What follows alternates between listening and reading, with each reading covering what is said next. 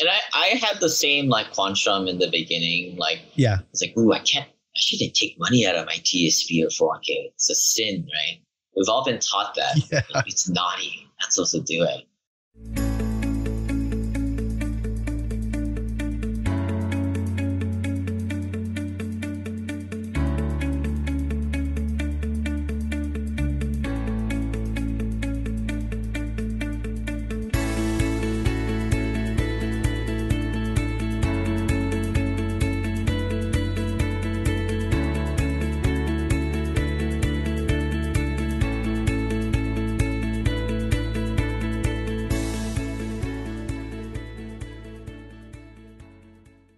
If you're watching this on YouTube, make sure you smash that like button and click subscribe.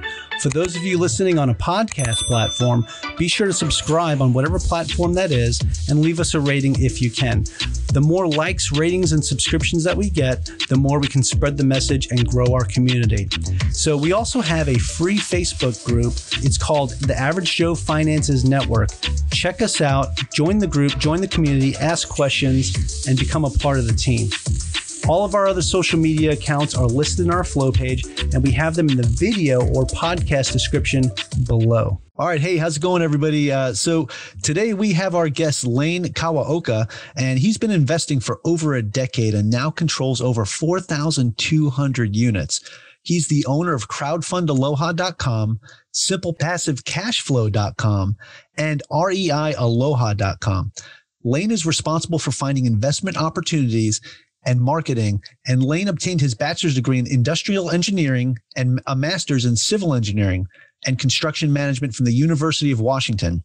In addition to analytical engineering background, Lane has real world experience in working as a project manager for over $250 million of capital construction projects in both the public and private sector. Working as a high paid professional in corporate America and frustrated by the traditional wealth building dogma, Lane was compelled to inspire and mentor other working professionals via his top 50 investing podcast at simplepassivecashflow.com. So, Lane, really excited to have you on the show. I, I, was listening to your podcast, listening to you as a guest on other podcasts, and I'm honored that you uh, reached out and uh, wanted to come on my show. So, uh, thank you for uh, for hopping on.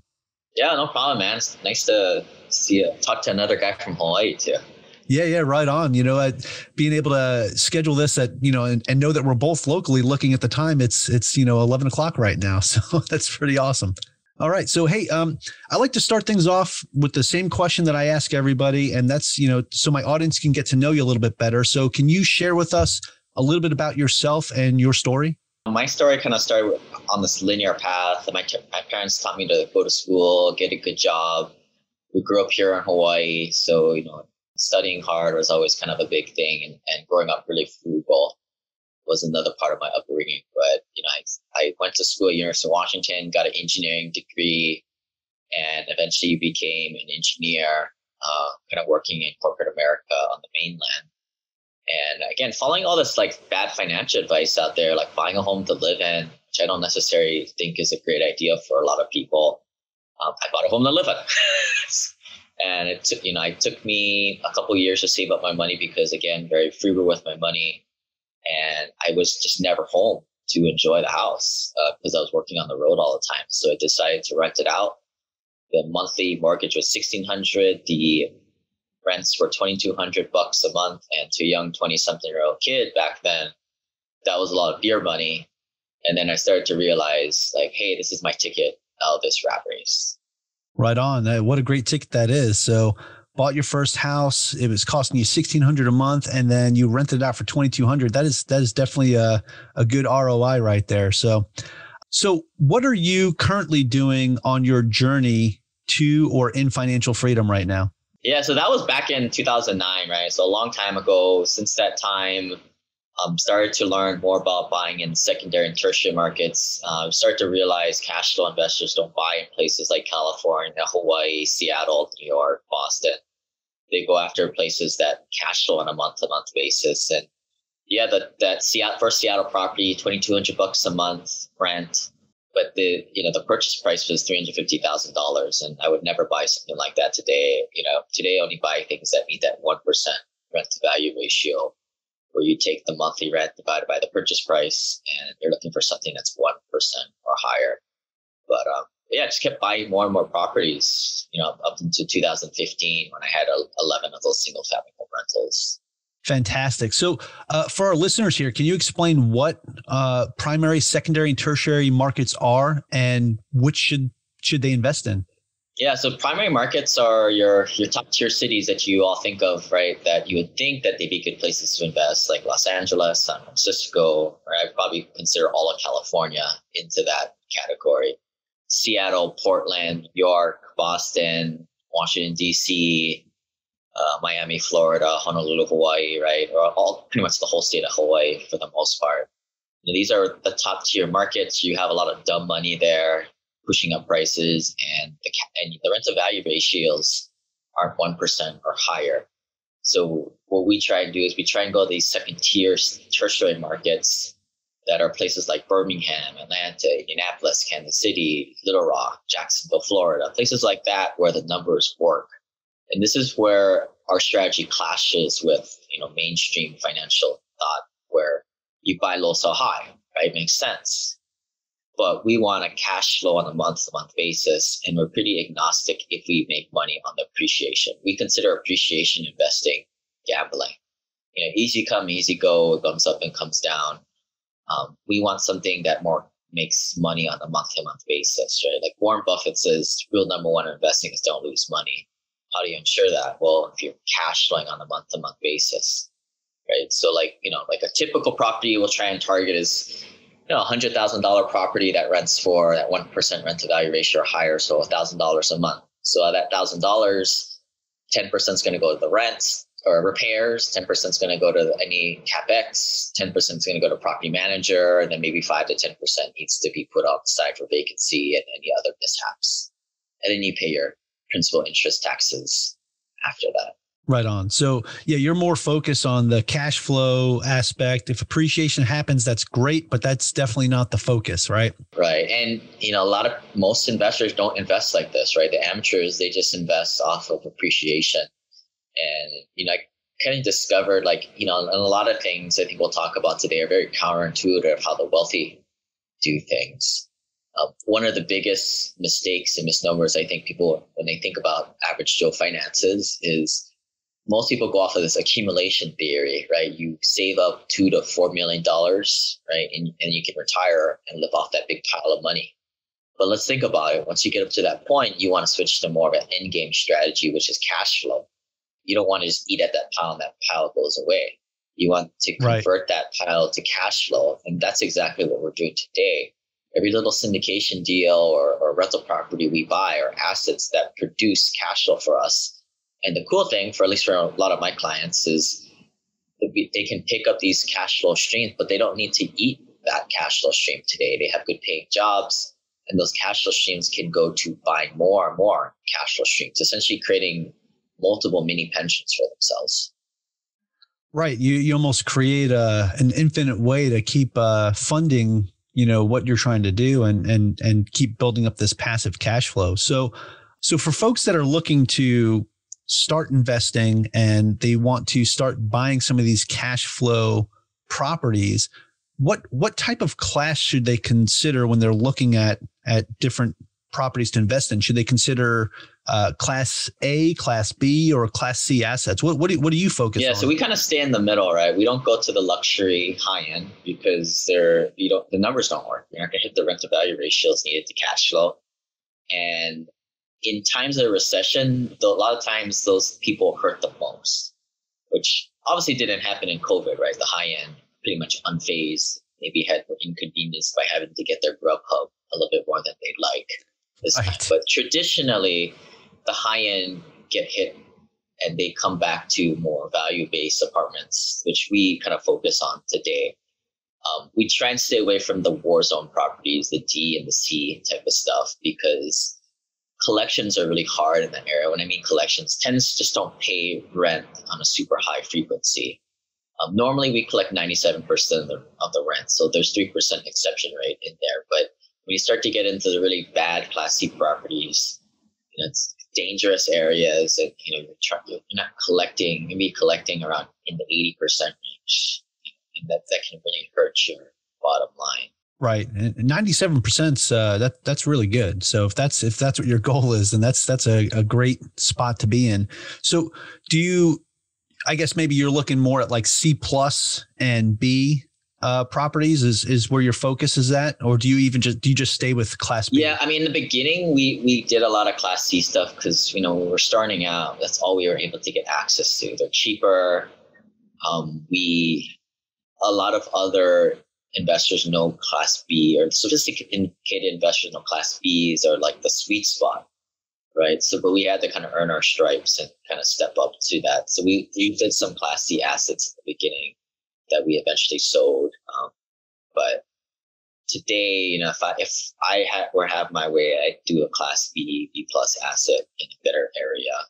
But you know, we diversify, right? Not every deal is unique, right? But that's the ideal what we try and stick to. Right on. Okay, so are are you mostly investing in like apartments and and uh, you know multifamily? Are you doing like syndications? Is what what what investments are you currently doing right now?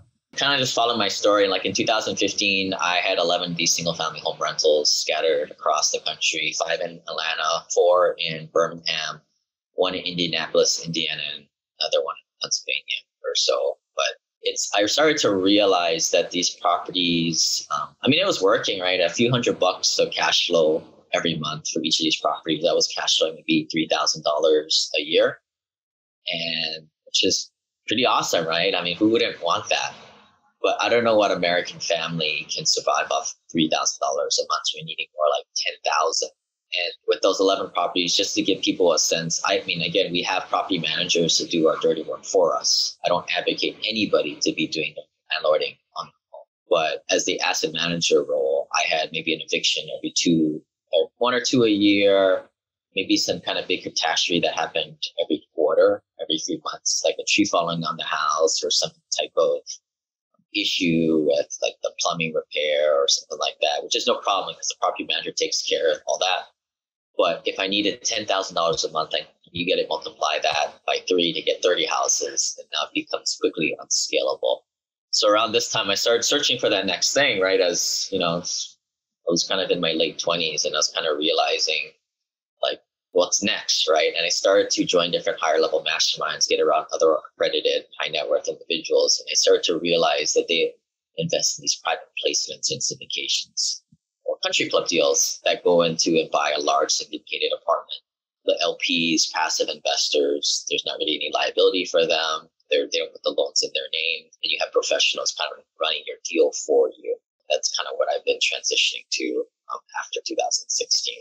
Right on. So okay, so since we're talking about syndications, right? There there's there's a lot that goes with that, especially for somebody that's coming in as a limited partner uh, to to understand the the type of deal that they're getting into, right? So there's uh, different things that they need to know about the the uh, unit or the the apartment or whatever that uh, property is that you're going to syndicate there are different things that you need to know about it, right? And and you learn about that when you get the pro forma, right? So what what are the top things someone should consider in the assumptions in a pro forma pitch deck? Well, I mean, a lot of times the pro forma is, you know, pro forma is kind of made up stuff, right? It's kind of right. it's toilet paper in French. um, and quite frankly, anybody can create a syndicated deal these days, right? And anybody can create a webinar and a pitch deck it ultimately comes down to verifying that track record of the operator. So this is where your network comes into play, knowing other high net worth pure passive investors actually invested with these people in the past. But maybe you don't have that. I never had that when I first started. Um, but you know, as if you own some rental properties, at least you have a fighting chance of kind of determining what you see there on paper. Is this legit, right?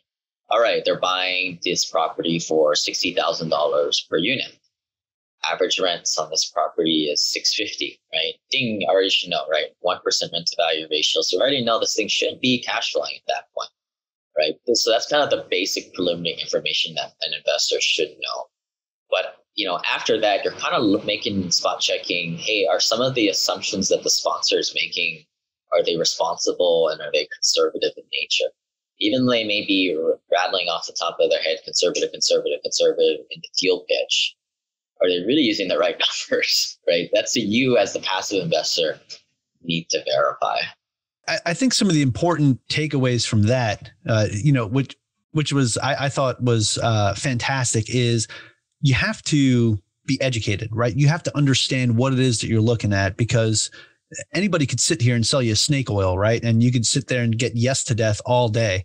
Um, but also your your network, right? Your network is important. Making sure that you're associating yourself uh, yourself with the right individuals, right? So when you're looking at these deals, if you have somebody in your network that's in it and you know that they've been doing this for a while, or you know, like you said, another high net worth individual that is investing uh, that is invested with this partner in the past, it can kind of give you more of that warm and fuzzy that you're looking at uh, a legitimate deal, right? Because I see it all the time on social media and, and all the all the different Facebook groups that I'm in is you know, uh, all these deals that are popping up and, and I've had a couple emailed to me and I'm looking at them. I'm just like, this, this doesn't feel right. It's, it's, yeah, this, but this, this one's, you know, it makes, makes the hairs on the back of your neck stick up and, and it's probably not something you want to involve yourself in. So, uh, the other thing that you mentioned too is, you know, just because they're saying they're being conservative, are they really being conservative? What do the numbers show? Because the numbers are going to prove it to you, right? If they're being conservative or not. So, uh, as a matter of fact, um, I, I just interviewed somebody last night, and we were talking about you know how conservative they are when they look at their deals, and uh, some of the way that they they work their numbers is way more conservative than I've seen other successful syndicators doing it. So that you know when you talk to people like that it's okay i'm a little more comfortable working with that individual when i know that they're really being conservative about it and not just fudging the numbers to to give you something that looks better on paper. You know what I'm saying? Right, right. Um, unfortunately, as a passive investor, a lot of this is is never in the pitch deck, right? Right. You need really. I mean, my due diligence process is a little bit different than most investors because I know how to analyze deals. So I pull the rent rolls and the profit and loss statements, the trailing financials, and I can put it into my analyzer. And what I'm doing is I'm applying my set of assumptions to make sure I'm getting the, the same number at the bottom of the page or better. And if not, if, if I and I can kind of tell what they're using for assumptions, right? Are they assuming that the rents are going to go up three percent every year? Well, that sure is heck not going to happen, in my opinion, right? Number my number is going to ultimately be lower. Um, and at that point, I even waste my time talking to that operator, right? Um, but at this point, I kind of rely a lot on my network, right? What, what deals have they been putting their own money into? Who's been actually performing? Quite frankly, I mean, most I never had it when I first started. I mean, that's why I've been I've invested with some bad people in the past, but that's just how it goes. This may not be for you, and but this is how accredited investors invest. Right on. Okay, so speaking of accredited investors, right? So there's um, a lot of people that probably listen to the show that that won't qualify as a, an accredited investor, right? So there's another topic that I wanted to talk about with you. It was something that um, that was on your information that I was interested in, and that was having uh, an emergency fund 2.0. So, can you? I've heard you talk about it on on different podcasts. Uh, as a matter of fact, uh, m- more recently uh, as a guest on a show that I listen to, the Chris Miles Money Show. And uh, I'm curious if if you can tell me what an emergency fund 2.0 is. Yeah, yeah. So, I mean, let's let's kind of preface this, right? Because maybe we kind of glazed over in the beginning, but the stuff sure. I do, the people I work with, you know, we're not broke, right? We got money. Right. A lot of us make six figures at our day jobs or, you know, certainly have at least a quarter million dollars net worth. If you're in credit card debt, don't listen to a thing I'm saying. don't listen right on. right? You know, that's what all these like free online forums are for. That's what the local REIAs are for. There's a bunch of people who want to flip houses, wholesale houses, get rich quick. Right. The kind of investing I do, the simple passive cash flow way is in the shortest amount of time for you to focus on your highest and best use, which might be unfortunately at your day job that you don't like, right? How do you grow your net worth the fastest and safest way? You know, with that said, you know, like that's why we, you know, for folks under a quarter million dollars net worth, we say go get a turnkey remote rental, something that's 1% rent to value ratio better than cash flows. Your net worth is higher, maybe consider a syndication or at least start start uh, to learn. But as far as emergency savings go, right, like for most people in this world, and again, I don't want to offend anybody, but for those of people who are a little bit more financially um, younger, right, where they have difficulty saving money. Most of my clients, again, have save at least ten to twenty thousand dollars, the very least every single year. Some are fifty, a hundred thousand dollars per year after all their expenses. But there's a paradigm shift right here, right? So folks who make less than that certain threshold, right? You're going to need an emergency savings account because things are going to happen and it's going to knock you on your on your on your butt, Right. right? But for the higher net worth guys, the guys who are kind of my cohort, right? Like you, we're switching from the scarcity mindset of emergency saving to an opportunity fund, right? Because we're we've got 50 grand, 200 grand lying on the sidelines, just spraying at a deal as it comes up, right? But you don't want to just sit in your checking account making zero percent. I always have less than like 10, 20 grand in my checking account, right? I call it like liquidity anxiety. You have that much money sitting there doing nothing, or more than a hundred grand in your home equity, home equity as debt equity, not doing anything. You should be sweating. You should be very nervous, in my opinion, right? Right. But where do you put the money in the meantime as you're loading up for the next investment or syndicated deal, right? So that's what this this idea, this opportunity fund comes into play. Where are you storing your money? So you know, some places I like are actually been sponsored by these guys, AHP Fund. You can go to my website, watch all the videos of that. But it's just a private note fund that gives 10% on funds invested paid monthly. Some people will do private money lending. I've been tinkering around a little bit with BlockFi at 8.6%. There are pref equity um, opportunities in large syndicated deals where you just get a nice coupon, 8 to 12% paid monthly. Um, you know, those short-term type of deals where you can kind of have it in semi-liquidity or where you can get at it maybe a couple a couple days to a few couple months maybe. Um, another thing that high net worth strategy that we like to employ is infinite banking, which is using whole life insurance. Again, if you guys are less than half a million dollars net worth, do not even think about doing these things quite yet. In fact, it'll just confuse you guys. You guys should be putting your money into investments to grow your net worth. But if you guys are accredited status or half a million dollar net worth and above, something to think about, right? Because now it allows you to put your money into a whole life contract and then you take a loan from it, right? So this is something a lot of my guys will do. They'll load several hundred thousand dollars in there. And as the deal comes up, they take a loan from themselves, paying interest to themselves. And then they can put that money into a deal. Yeah, I've I've heard of that a couple times, and it's a good way to double dip, right, on on that cash that you had just sitting around, right? So not only are you you getting the uh, the return from having it sit in that whole life insurance policy, but you're also paying back yourself interest, and at the same time, the money that you took out as a loan, you're you're getting a return on that investment too, because you you know likely put it into something else that's that's giving you a, a higher return than than even what you're paying yourself back in in interest. Let's take a brief moment to hear from our show sponsors. What's going on, everybody? So, I am happy to announce that we now have our video and audio editing services live.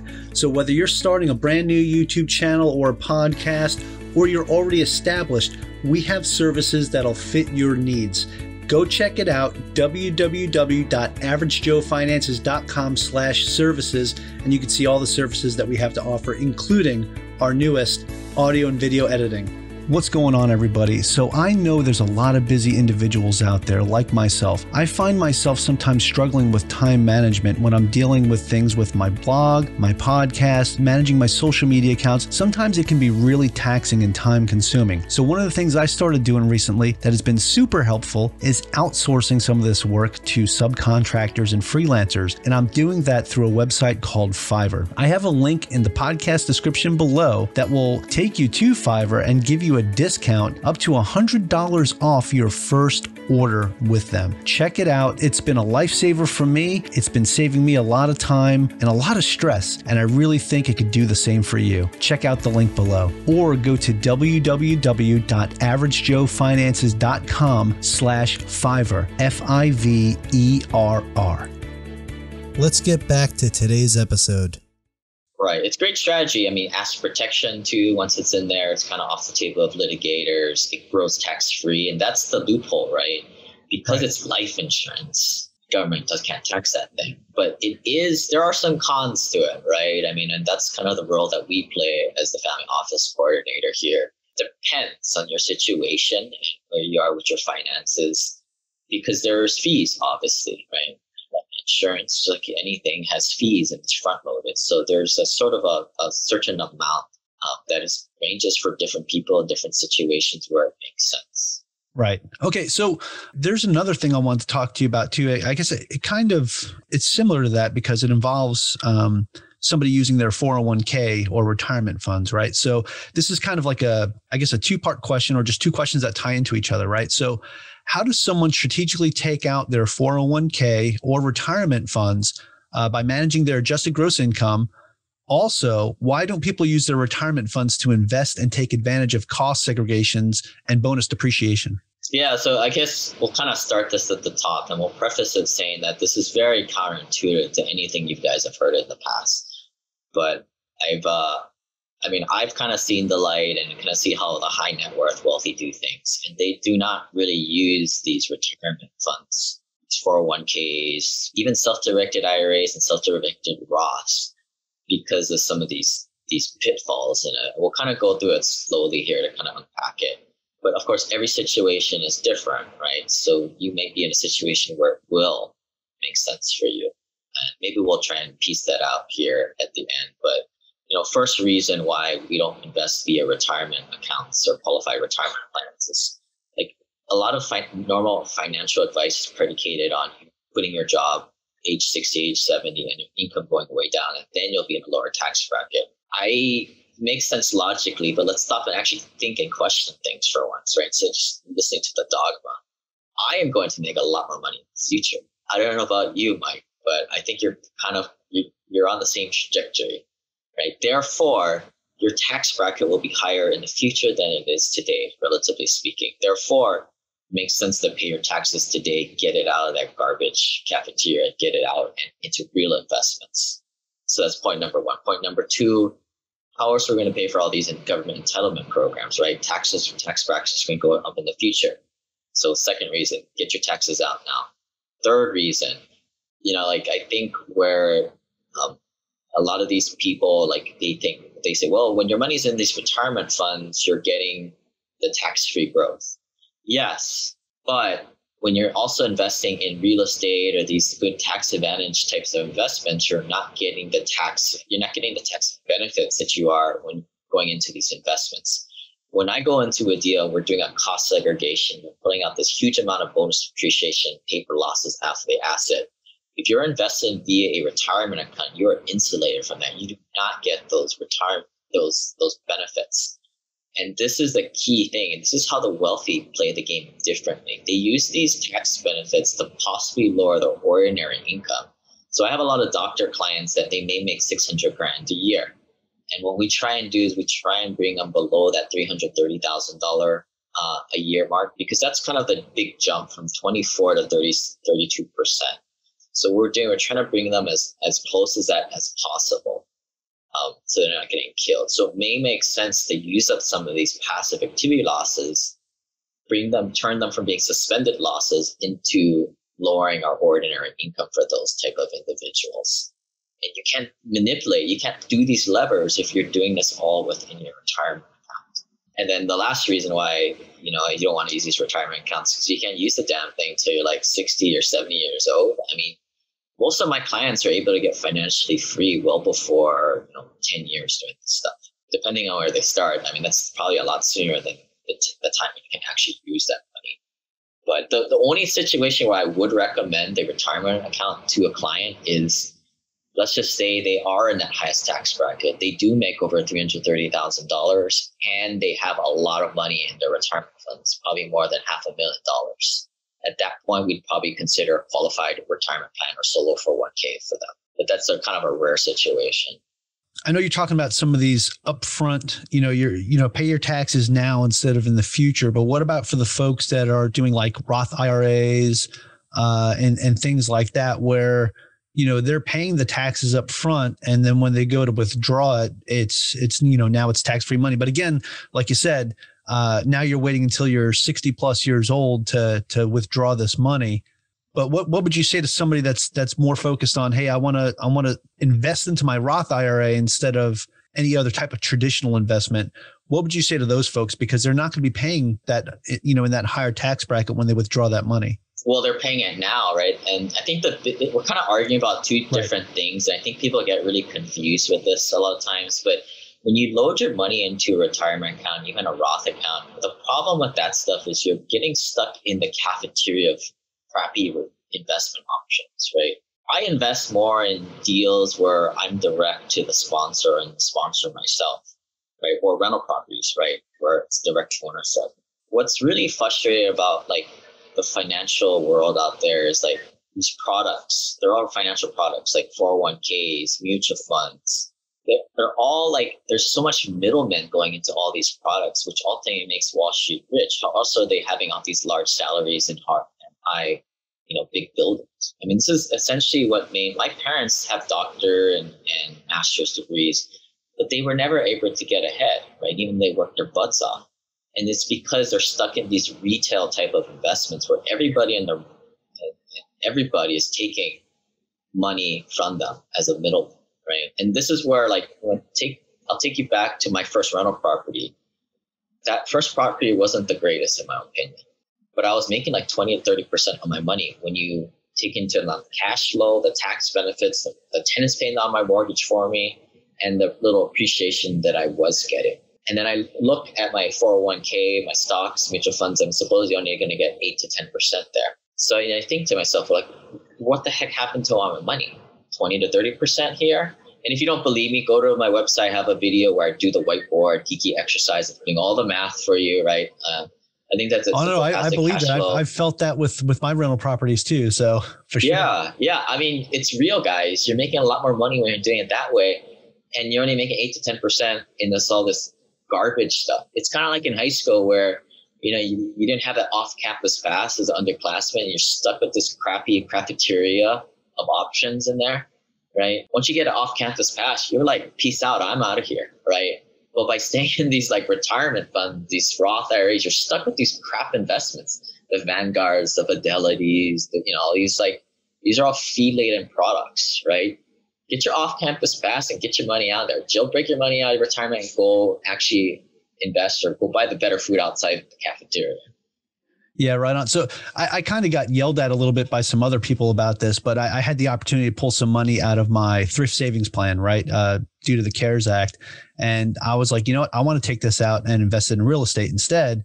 And uh, some people were getting frustrated with me about it, but I was like, I, I can get a much better return you know, if I took this cash and put it into a real estate asset versus letting it sit here in the in the thrift savings plan, you know, barely earning, you know, 10 to 12 percent, uh, where I can get a, you know, almost 20 percent plus, uh, you know, cash on cash return on my investment. So I, mean, I, I believe in that. I believe in that. That's sure. why we do what we do, right? Because yeah. it's just frustrating because you and I have to fight up this uphill battle of all this financial dogma, how our parents do it, how our parents right. taught us, how society wants us to do it what Cliff and Rob are doing in the cubicle land next to us, right? Like number one rule of inve- of like financial freedom is never listen to anybody who's not financially free. If they have a job, don't listen to them because they're doing it wrong, right? And this could even right. mean your CPA, your financial planner, like they all have jobs, right?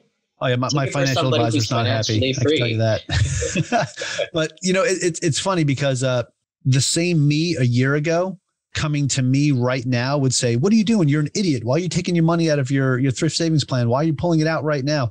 And you know, the funny thing is, the amount of money that I took out, um, I didn't I didn't have to pay any penalties on it, but I only had to claim a very very small amount as uh, income this year, and I was I was even able to take that small amount and break it break it up over the next three years as well. So I only claimed one third of that uh, you know, this year's income, and then the rest of it is going to be, you know, over the next uh, two years. So uh, that really helped out as well, and uh, I I didn't have to pay nearly as much in taxes this year than I that I thought I was going to have to. So that worked out yeah. pretty good. I mean, what Mike's talking about, guys, is the 100K CARES Act. Um, mm-hmm. Withdraw, like guys, it's a no-brainer. Get it out there. This they're not. You have to pay the taxes on it, like as you always have to when you take it to, as income because you always have to pay taxes at some point. Again, rather pay taxes on it now than later. But right. like with the CARES Act thing, you're able to get away from the 10% penalty. I, I like, think it's expired now, though. I think uh, it was December fifteenth. I think was the cutoff. So uh, unless I think you're right, it, yeah. But I mean, the argument I'm trying to make is like, look, guys, it doesn't matter. Like they call it penalty for a reason because they yeah. want you. They, ooh, it's a penalty, right? Ooh. Yeah. Who cares? You're gonna beat that. You're gonna had, beat that uh, ten percent in like six months. Yeah, absolutely. I, I also caught some flack too because I took out a loan against my TSP a while back to to buy a property, um, and and I was told like, oh, what are you doing? I was like, you know, what as I'm paying this loan back and the interest that I'm paying on it, I'm actually paying myself. It's not, you know, it's not even like I'm paying interest to a bank or anything like that. So, and it was for a very small amount too. So it was like two percent is what I had to pay it back. It was whatever the the current G fund is at the time. So yeah. uh, to me, it was again, it was one of those things to me that when I looked at it and I looked at the numbers, I was like, this is a no brainer. This is it's my money. I can borrow it from myself and pay it back. It's you know similar to the to the way you were talking about doing with the life insurance, uh, but the life insurance way is a, a much better way to do it because you're getting a, a higher return. But uh, it was it was a way for me to do it as a as a smaller a smaller fry, right? Yeah. Um, and I I had the same like quantum in the beginning, like yeah, it's like ooh I can't I shouldn't take money out of my TSP or 401k. It's a sin, right? We've all been taught that. Yeah. Like, it's naughty. Not supposed to do it.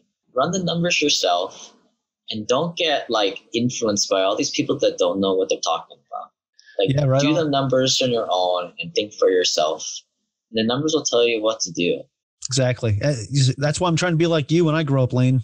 sure. I'm just copying what other super rich people are doing. Yeah. And yeah, it's absolutely. not super complicated. It's a proven formula, right? Yeah. What they're it's doing very works. counterintuitive to what we've all been taught. Absolutely. Absolutely. Uh, okay, so um, we can go on on this stuff all day. This is this is awesome. Uh, yeah. So I want to talk to you a little bit about you know besides real estate, which you're absolutely crushing it there. Uh, what are some other asset classes that you you personally uh, yourself invest in? You, are you involved in uh, any paper assets like in the stock market at all or anything like that? What what what other assets do you invest in? I mean, I like businesses and pretty much hard assets. I mean, in I mean, I, I, I operate apartment buildings, apartment syndications. I also like other asset classes such as self storage, office space, uh, mobile home parks. Uh, like the, the theme there is like it's workforce housing, right? It's in it's for the majority of people, the bell curve of America. It's you know right. something in a recession that demand should stay stay strong or get even stronger for. That's what I know. So that's what I primarily invest in. But if you're kind of twisting my arm, like what else am I? I'm starting to do some oil and gas. I do some. I like life settlement investing. Um, again, that's more for like the more people in end game strategy. You know, folks under two or three million dollar net worth, in my opinion. So You really want to diversify your portfolio, but I, I definitely don't like fake assets, right? Like paper assets. I definitely don't like that type of stuff. I like hard assets that are leverageable and give me good tax benefits. Right. I think one of the key things you said too is uh, the the stuff that you're investing is is is essentially recession proof, right? It's it's something that even when we take a hard hit to the economy, you're still uh, you're still getting your cash flow, you're still getting a return, you know, an ROI. One of the things that I really like about real estate, probably more than anything else, and it's it's very simple. It's a very simple way to look at it. Is you know, people will always need a place to live. You know, you're not always going to need to dump money into a company. Uh, a company's not always going to need your money. I mean, they'll take your money, but you know, putting putting money into real estate, into real assets, like you're talking about, not paper assets, but real assets. It's something that's it's tangible. It's there, and and it's a it's a need. It's not a want. It's a need. It's a requirement for you know for people to survive. And in this country, like our our population is growing, immigration, population growth, and we have a greater need for that lower end you know, the rent's between seven hundred dollars to twelve hundred dollars a month. It's not on the high end. It's right. that kind of that middle lower class is what we need more of, and we don't mean the government's kind of stimulating that in little ways with better loans um, and different zoning requirements these days. Um, it's just it, to me, it's a no brainer, right? And yeah, add that to your whole argument of you know they're not making any more of that too. Yeah, absolutely. Uh, so, hey, Lane, this this has been uh, fantastic. I think you've uh, dropped some uh, phenomenal uh, nuggets of wisdom here. Uh, I, I, really, I'm really excited. I, I, again, I could probably talk to you all day about this stuff. But I've, I've got one more question I want to ask you. And, and this is the important one, especially for the folks that are listening that want to get involved and, and maybe get to know you a little bit more. And that is where can people find more information about you? Uh, do you have a website or social media you can share? I, we've already shared, you know, three of those websites and I'll make sure I get that in the show notes, but where else can people find you? Um, they can go to my podcast, Simple Passive Cash Flow, uh, Passive Investing, iTunes, Google Play, etc. And then my website is simplepassivecashflow.com. You know, I think a lot of folks just trying to get started. Start with a, like a turnkey rental, right? A lot of these guys will fix up properties for you and put a tenant in there for you. Great way to get started. That's how I got started. We go to simplepassivecashflow.com slash turnkey. And uh, if you're in Hawaii, you know, maybe when one day we start to do the in-person meetups again. Yeah, uh, yeah, for sure. We'll see you out there. But if not, find me on the interwebs. The interwebs. Absolutely. Hey, you know, I, actually, you know, one more thing that even even here with the final thing here, you're still leaving another little golden nugget, and that is, uh, you don't hear a lot of people talk about it too much, especially uh, for newer real estate investors. And you said to go find a turnkey property, and I just want to ask you, just uh, personally, out of curiosity, why would you say to go buy a turnkey property versus maybe a distressed property that you can fix up and maybe get a uh, you know, be able to pull that money back out, like using the BRRRR method or something like that. Why would you say to go get a turnkey property? Well, I mean, it's kind of like would you if you don't know how to swim, you never swam before, you go jump on the shallow end of the pool or the deep side. Right, a turnkey allows you to kind of get into a property and operate it and kind of with training wheels on. Right. Or, so starting by dipping is, your toes instead of just diving into the deep end. Right, and I'm not a big fan of the BRRRR strategy personally, especially because most of my clientele they make over 50, 60 grand a year. Right. Now, if you don't have that much money yeah, you're going to have to take on some risks. And BRRRRs take a lot of time. And to me, a lot of our highest and best use is not doing that type of stuff. It's just buying and holding. I mean, at least that's how I did it, right? Like I never really did BRRRRs. I just, it just took me a while. Like from 2009 when, when I bought my first property and I just saved my money, bought a property every year essentially. Right. I, I get it. Not everybody can save 50 grand a year, but that's what I did. And I didn't really take chances along my route. I don't know. It's now the time when you want to be doing the BRRRR strategy because I mean we've been in a bull market for the last dozen years. At some point, it's got to go down. So right. that's the trade off, right? At least go on eyes wide open. People want to do the BRRRRs. You can go to my website, look at the the cons of BRRRRs. Um, I'm not a big fan of it, especially if okay. your net worth is over a quarter million. No, that's that's great. It's it's great to have a you know a different point of view. You know, from the the standard, you know, what you hear all the time on on many other podcasts about, and even on my own. Because I've brought people on that talk about how they do burn everything. So it's always good to see it from another point of view and perspective. So the folks that are listening right now can can make a better decision based on what works best for them right? And i really like what what you're doing and how you started off too because you started off while you were still doing your your nine to five right? And uh, being a busy individual you can't just jump in and start renovating a place right? I i kind of ran into this problem too with the property that i bought last year and uh, it needed a lot of work. And unfortunately due to the pandemic you know and being in the military i wasn't able to fly back to virginia to do anything. So i'm sitting here doing everything sight unseen hiring all these people to come out and contractors to do work on a property that uh, I never even seen before. So yeah, I definitely, uh, I definitely have felt that pain. Uh, so I, I, definitely appreciate that perspective, uh, hundred percent. So even, even on the way out, you're, you're dropping some, some good knowledge here. And I, I definitely appreciate that. Hey man, I, I appreciate you taking the time to talk with me. Even, you know, even though you're local, um, and we're doing it on the weekend, it's good to be talking to somebody that I know the the sun's in the same spot in the sky as as we're chatting. Uh, so uh, again, I really appreciate you uh, coming on and talking with me today. Yeah, yeah. Thanks for having me. My computer is like facing the same direction that you are. so I feel like you're really talking to. Yeah, yeah, absolutely. maybe you're facing the same way, and so I'm kind of talking to your back. Maybe, maybe. feel like I'm talking to you. I don't know, but as soon as we can do some stuff in in, in person, I definitely uh, we should get together and. Uh, I, I go out to some of the meetups out here, and uh, I'm looking forward to hopefully meeting you in person one of these days. Yeah, cool, Mike. All right. Hey, thanks for coming on.